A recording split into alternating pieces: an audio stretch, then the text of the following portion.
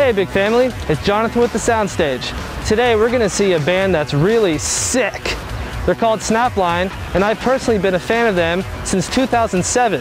If my memory serves me right, it was about the first show I ever saw in Beijing, which is pretty cool. They left a big impression on me, and I'm back here today with them to show them to you. Uh, they've been spreading the germs of rock and roll all over Beijing.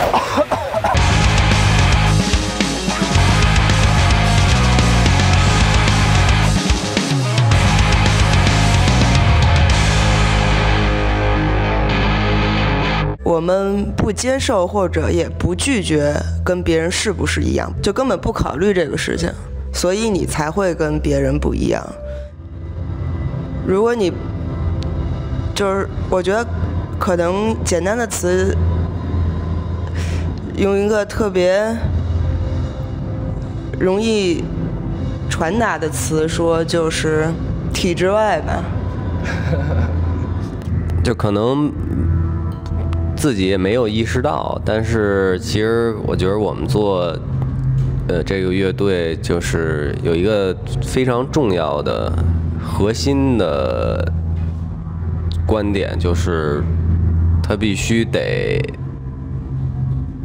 很特别。对这个，这个可能一开始并没有意识到，只是通过结果来判断。其实可能每个时间段，然后不同时期、不同人的想法其实也不太一样。那从我个人来讲，一开始我觉得，呃，想法就是说，哎，做一些有意思的音乐，不管它是怎么样，反正就是从脑子里出来的，就把它弄下来、写下来、做出来。其实最一开始的想法其实非常的原始，也非常简单，也很直接。所以其实我们也不太关心，呃。就是说外界的呃反应或者怎么样，就是觉得哎，这是脑子里的东西往外流，我得写出来，做出来。那那到现在的话，我觉得我我从我个人的角度来说来想，我说我还是可以继续这么做，把这些比较比较原始的、比较直观的、直接的想法把它记录下来、写出来。但是在这过程中，我觉得会有意识的再精雕细琢一点，就是觉得可能。比如说，比如说以前写歌词，可能就啊就想到这个就写这个，但现在想现在写出来之后，可能会要琢磨，说我我其实这个这个这个词的走向啊，或者是是选词啊，可能会从歌词和就从歌词上讲的话，其实它还没有一个特别清楚的，就是特别清晰的一个一个。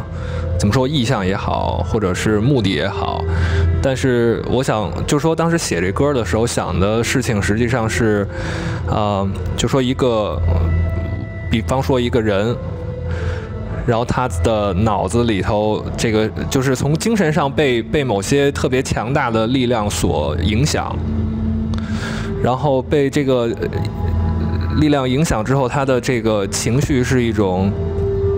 又希望被影响，但是呢，又有点拒绝，然后在这种冲击之中，可能就有一点，呃，所谓的分裂也好啊，或者是分崩离析也好啊，就是有一种这样冲冲撞的这种感觉。所以歌词是关于这个这样一种情绪的，对。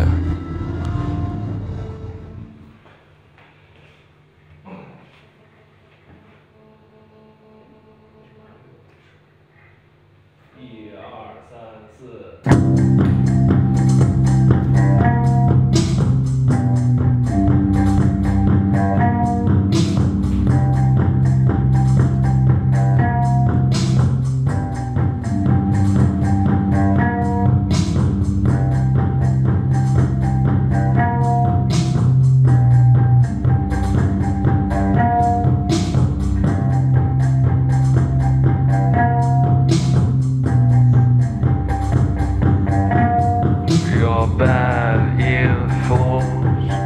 got me fat too. It's difficult to shake.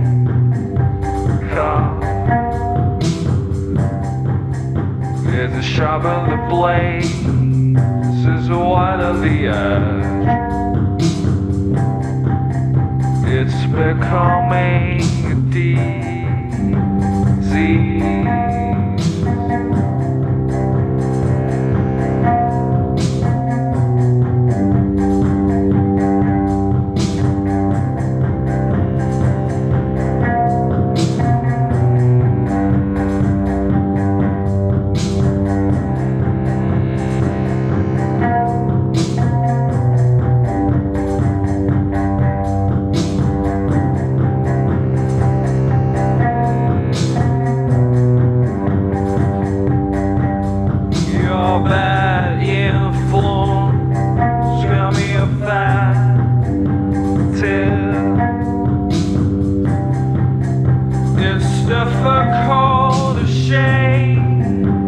God.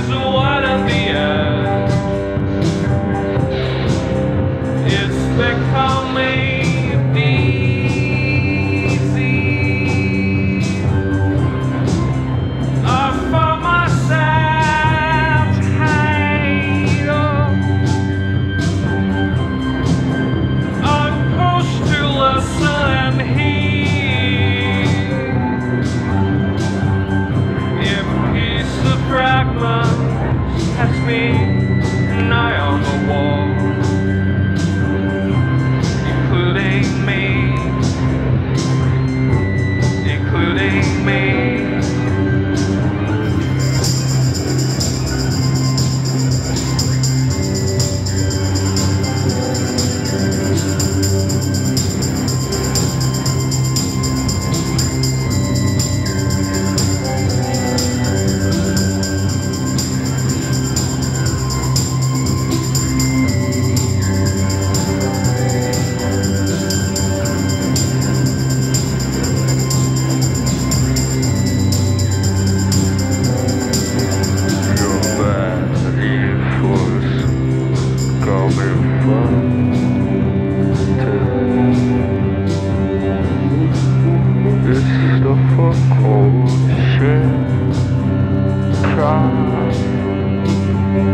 If you shovel the place, there's a wine on the edge.